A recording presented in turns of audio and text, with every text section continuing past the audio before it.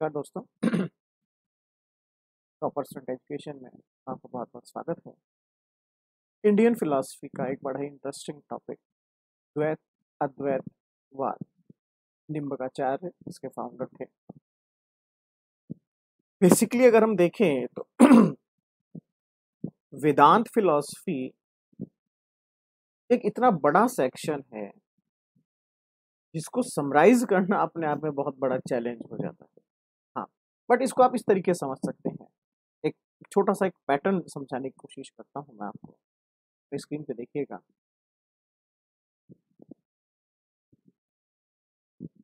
तात्पर्य क्या है मेरा? मैं कहना क्या चाह रहा हूँ? पूरी वेदांत फिलॉसफी में देखिएगा। पूरी वेदांत फिलॉसफी के अंदर आप अगर मैं सारे फिलोसफर्स को एक साथ ले लेता हूँ तो आप उनको कैटेगराइज कर सकते हैं। और मैंने ये जो विभाजन किया है, ये दो भागों में किया है। पहला पार्ट इसमें मैं लेता हूँ, केवल शंकराचार्य को। सेकंड पार्ट शंकराचार्य के अलावा जितने भी फिलोसफर हैं, चाहे वो रामानुज हो, चाहे वो माधव हो, चाहे वो निम्बक हो, चाहे वो वल्लभ हो, चाहे वो चैतन्य हो, जितने भी और फिलोसफर्स बचते हैं, वो सेकंड पार्ट में आ जाते हैं। उसका रीजन है क्यों? शंकराचार्य बात करते हैं एब्सल्यूट की शंकराचार्य बात करते हैं आइडल की शंकराचार्य बात करते हैं लॉजिकल वैदिक फिलोसफी की जहाँ पर स्पिरिचुअलिटी का लेवल अलग है जहाँ पर कंसेप्ट अलग है जहाँ बात हो रही है प्योर वैदिक नॉलेज की वहाँ पर कोई मिक्सअप नहीं है और एक एक, एक रीजन भी है कि शंकराचार्य के बाद के फिलोसफर्स जो हैं वो शंकराचार्य से धीरे धीरे दूर होना शुरू हो गए। जब शंकराचार्य कहते हैं अहम ब्रह्मास्मि और ब्रह्म सत्यम जगत मिथ्या तो वहाँ पर वो ब्रह्म की सुपरमेसी को डिफाइन कर रहे हैं। कितने कितने सुपीरियर है ब्रह्म। ब्रह्म सबसे महान है, वही सत्य है, बाकी सब मिथ्या है। तो ये एक डेडिकेशन है, ये इससे बड़ा डेडिकेशन आज तक नहीं देखा गया। अब दिक्कत ये है कि ब्रह्म क्या? या ब्रह्म कौन? या ब्रह्म कैसा? यहाँ पर कंफ्यूजन हो गई। आप ब्रह्म को शब्द तो आपने ले दिया, नाम तो आपने ले दिया, ब्रह्म। लेकिन ब्रह्म मतलब क्या? और इसमें बड़ी इंटरेस्टिंग बात क्या हुई? कि जो अंग्रेज़ी की पुस्तकें जिन्होंने लिखी, उन्होंने इसके आगे एक ए और लगा दिया, ब्रह्म के आगे ए और लगा दिया तो ये ब्रह्मा हो गया। कुछ लोग तो बेचारे ये समझते हैं कि शंकराचार्य केवल ब्रह्मा को मानते थे। ब्रह्मा, विष्णु, महेश में से केवल ब्रह्मा को मानते थे, है ना? ये भी एक बड़ी विडंबना हुई, दुर्भाग्य हुआ हमारा। ऐसा नहीं है, ब्रह्म को माना गया है। ब्रह्म में वहाँ उनका तात्पर्य था शंकराचार्य का कि ये ईश्वर जो है, उसमें भी कहीं ना कहीं कुछ कमी है। ईश्वर के अंदर माया पाई जाती है। ईश्वर अगर एक पर्सनैलिटी का पॉजिटिव पर्सपेक्टिव है तो माया उसका नेगेटिव पर्सपेक्टिव है। ये ईश्वर और माया एक साथ काम करते हैं तो ब्रह्म कहाँ है? ब्रह्म वो है जो इन दोनों को बना रहा है, ब्रह्म इन्हें पैदा कर रहा है। अब कुछ लोगों ने कहा कि जब ब्रह्म इन्हें पैदा कर रहा है तो मतलब ब्रह्म के अंदर भी माया होनी चाहिए थी। तो इसका एक छोटा सा एग्ज़ाम्पल देता हूँ, बड़ा ही अजीबो गरीब एग्ज़ाम्पल है समझने की कोशिश कीजिएगा। एक हलवाई, अगर मैदा की या बेसन की बर्फ़ी बना रहा है तो वो हलवाई भी बेसन होगा, ये तो नहीं हो सकता। वो क्रिएटर है, हलवाई क्रिएटर है, वो क्रिएट कर रहा है, वो मैदा बनाता है, वो बेसन की हलवा हलवा बना रहा है, मैदा की मिठाइयाँ बना रहा है वॉट वो सब कुछ कर रहा है, लेकिन वो वो नहीं है। वो क्रिएटर है। उसी तरीके से ब्रह्म में माया नहीं है। ब्रह्म ने उसका निर्माण किया ठीक है? तो ये ब्रह्म था। शंकराचार्य की फिलॉसफी थोड़ी सी अलग पॉइंट ऑफ़ व्यू से देखी जाती है और विडंबना या दुर्भाग्य ये रहा कि शंकराचार्य के ऊपर ज़्यादा काम नहीं किया गया। इनफैक्ट कुछ जगह पे तो शंकराचार्य को नहीं पढ़ा जाता है। रामानुजाचार्य से कहानी शुरू की जाती है और रामानुजाचार्य को वेदांत फिलॉसफी के अकॉर्डिंग पढ़ा जाता है। और इसी सीरीज़ में आपके जो आज के फिलोसफर हैं, वो है। निम्बार्काचार्य ठीक है? जिन्हें आज हमें देखना है। स्क्रीन पे दिख रहा होगा आपको। थोड़ा सा सही कर देते हैं। ठीक है। द्वैत अद्वैत। शब्द से ही मालूम पड़ रहा होगा यहाँ पे। का मीनिंग क्या है?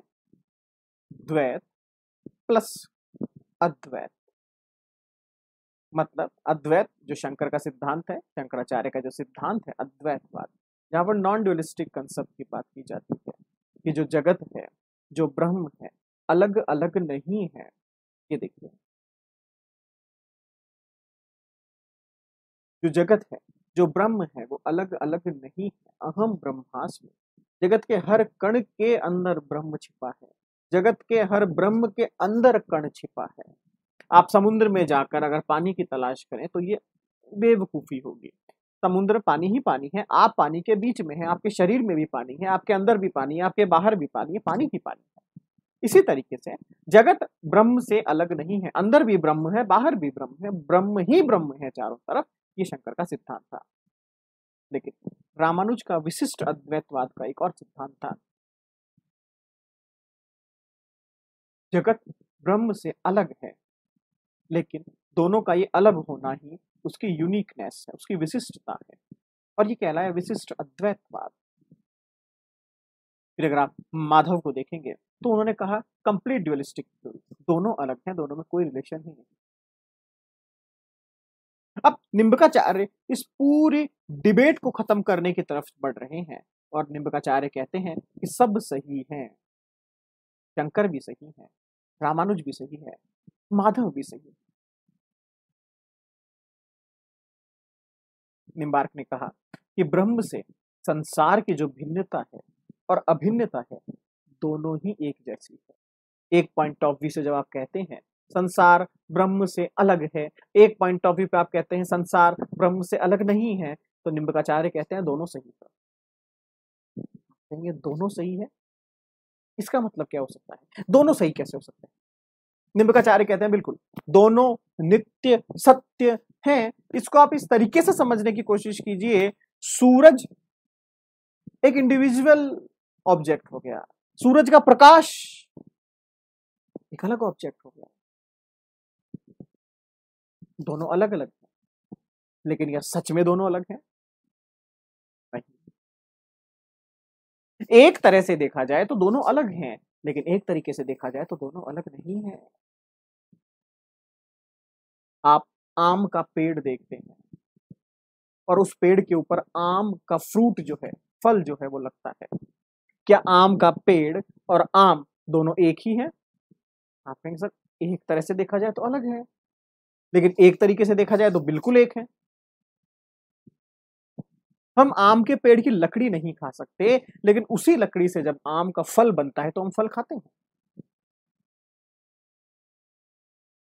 हम फल खाते हैं। तो एक नज़रिए से दोनों अलग हैं। एक नज़रिए से दोनों द्वैत हैं, दोनों अलग हैं। एक नज़रिए से दोनों के अंदर एक रिलेशन पाया जाता है जो इनकी विशिष्टता है विशिष्ट अद्वैत है। लेकिन एक तरीके से ये अद्वैत है, दोनों में कोई अंतर नहीं है। केवल अवस्थाएँ अलग अलग हो रही है। पर निम्बार्क ने जो वैदिक फिलॉसफी में डिबेट चल रही थी, उसे खत्म करने की कोशिश की। निम्बाचार्य कहते हैं। ब्रह्म इस संसार का कारण है। ब्रह्म कॉज है। संसार उसका वर्क है, उसका परिणाम है, उसका रिज़ल्ट है। जैसे कि आम का पेड़ जो है, वो ब्रह्म है और फल जो निकल कर आ रहा है वहाँ से वो संसार है। एक नज़रिए से देखा जाए तो ब्रह्म और संसार दोनों में कोई समानता नहीं दिखाई देती। आम का पत्ता भी मीठा नहीं होता, उसकी जड़ें भी मीठी नहीं होती तो मीठा फल कहाँ से आया? लेकिन मुझे ये भी पता है ये आम का मीठा फल आम पर ही लग सकता है, क्योंकि दोनों एक है। तो निम्बकाचार्य कहते हैं कि दोनों के अंदर ब्रह्म कारण है, संसार परिणाम है, और यह संबंध हमेशा बना रहता है। एक नज़रिए से कारण और परिणाम वर्क और कॉज जो है अलग अलग है। लेकिन एक पॉइंट ऑफ़ व्यू से दोनों अलग नहीं है। अगर आप डीप पे जाएँगे तो दोनों शायद अलग नहीं है। ब्रह्म जो है, वो अद्वैत है। ब्रह्म अद्वैत है। क्योंकि ब्रह्म एक है, सभी के अंदर पाया जाता है। और संसार, ये ड्युअलिस्टिक है। यहाँ द्वैत पाया जाता है। तो एक नज़रिए से एक एक एक छोर पर अगर मैं खड़ा होकर देखूँ तो मुझे अद्वैत ब्रह्म दिखाई देगा। लेकिन अगर मैं ब्रह्म के साथ खड़ा होकर संसार को देखूँ तो मुझे द्वैत दिखाई देगा। ये निम्बकाचार्य की फिलॉसफी थी।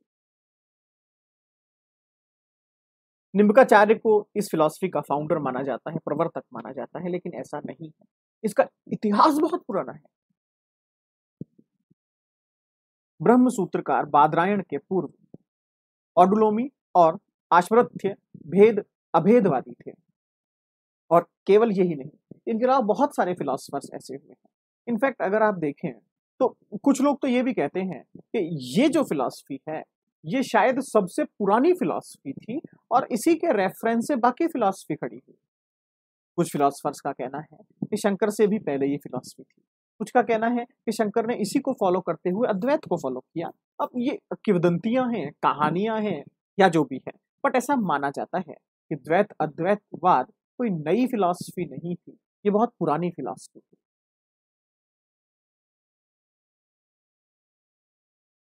एक डायग्राम देखने की कोशिश कीजिएगा। इस फिलॉसफी में तीन एलिमेंट्स माने जाते हैं, तीन तत्व माने जाते हैं, ईश्वर, चित्त और अचित्त। तीन अलग अलग तत्व इसमें पाए जाते हैं, ईश्वर। ईश्वर कौन है? ईश्वर क्रिएटर है। इसके अंदर एक पावर शक्ति एनर्जी पाई जाती है, जिससे ये अलग अलग ऑब्जेक्ट्स क्रिएट करता रहता है। ये सृजनात्मक है, सबको पैदा करता है, सबको उत्पन्न करता है ये। चित्त और अचित कहीं ना कहीं इसी का क्रिएशन है। लेकिन ये इसका प्रोडक्ट नहीं है, ये इसकी एनर्जी है। चित्त और अचित्त जो है, ईश्वर का कोई एक मैं कहूँ कि तत्व नहीं है अंश नहीं है, भाग नहीं है, ये इसकी ऊर्जा है। ये इसकी शक्ति है, ये इसकी पावर है। यहाँ पर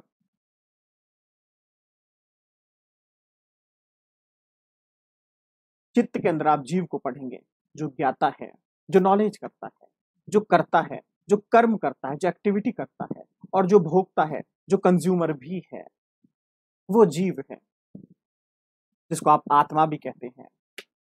द्वैतादय मत के अंदर, जड़ को भी तीन तरीके से डिफाइन किया गया है, प्राकृत, अप्राकृत और काल। काल मतलब हो गया आपका टाइम ईश्वर सगुण है, गुणों से भरा हुआ है, उसमें कोई तरह का दोष नहीं है।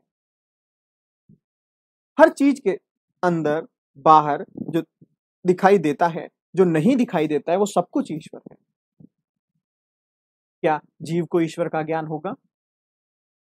क्या जीव ईश्वर के प्रति समर्पित हो सकता है? तो ये कहते हैं हाँ। इसके लिए स्पेसिफिक वर्ड का यूज़ किया गया है, प्रपत्ति। प्रपत्ति। ईश्वर के प्रति आपका पूर्ण समर्पण कंप्लीट डेडिकेशन और ऐसा करने के लिए आप पाँच छह तरीके से इस चीज़ को फॉलो कर सकते हैं। अनुकूल संकल्प सबसे पहले अनुकूल संकल्प लीजिए। आप एक विल पावर को मज़बूत कीजिए और एक संकल्प पहले लीजिए कि मुझे यूपीएससी क्रैक करना है। मान लीजिए ईश्वर आपका यूपीएससी हो गया या यूपीएससी आपका ईश्वर हो गया। अब यूपीएससी के प्रति समर्पण, डेडिकेशन किस तरीके से किया जाए? सबसे पहले अपना मोटिव क्लियर कीजिए। अनुकूल संकल्प तो अनुकूल संकल्प है कि मुझे यूपीएससी क्रैक करना है। यह अनुकूल संकल्प हो गया। सेकंड प्रतिकूल वर्जनम। जो प्रतिकूल है, उसकी वर्जना कर दीजिए, उसे हटा दीजिए साइड में। जो परिस्थितियाँ, जो विचार, जो आसपास का माहौल, अगर आपके अनुकूल नहीं है, आपके फेवर में नहीं है, प्रतिकूल है आपके अगेंस्ट है आपके, उसे साइड में कर दीजिए। चलिए भैया साइड होइए। आपके यार, दोस्त, आपकी हैबिट आपका कल्चर आपका परिवार, जो भी आपके अगेंस्ट है, जो भी आपको कहता है, आगे मत बढ़ो। तो उनको साइडलाइन करने की कोशिश कीजिए। साइडलाइन करने का मतलब ये नहीं, घर छोड़ के भाग जाओ। साइडलाइन करने का मतलब है, उनकी बातों को दिल पर मत लगाओ, क्योंकि अपना संकल्प फिक्स है यूपीएससी यूपीएससी यूपीएससी थर्ड जो कुछ भी आपके पास है, उसकी रक्षा करो। और उसकी रक्षा करने का विश्वास आपके पास होना चाहिए कि मैंने आज तीन सब्जेक्ट पढ़ लिए तो ये तीन सब्जेक्ट जो मैंने पढ़ लिए, अब मैं ये भूलूँगा नहीं, ये उसकी रक्षा हो गई और मुझे विश्वास है कि मैं ऐसा कर सकता हूँ।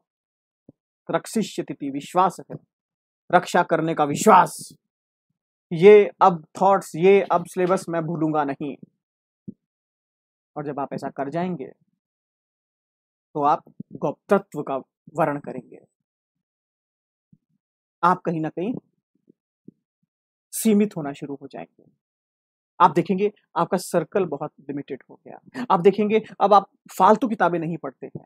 फालतू मतलब पहले स्टार्टिंग में बच्चा क्या करता है? अपने टेबल पे बहुत सारी किताबों का ढेर लगा लेता है, लेकिन जैसे जैसे उसके अंदर एक मेचोरिटी आती है, वो लिमिटेड बुक्स पढ़ता है।